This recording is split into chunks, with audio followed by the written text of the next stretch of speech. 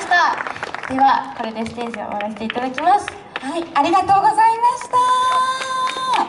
ね優しい歌声で素敵でした。ありがとうございます。ね皆さん良かったですよね。ねこの今後あの決まっているステージありますか？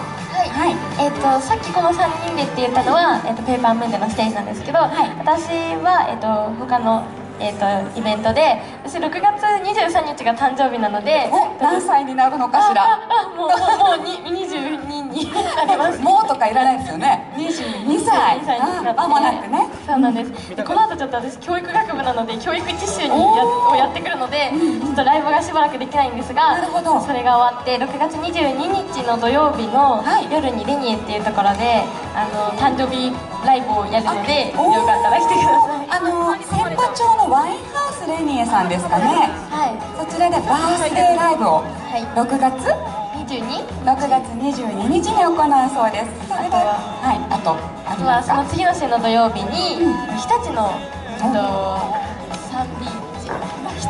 日立のサンビーチ。はい。日立の海の近くのお店で、えっと、ライブをしたりしています。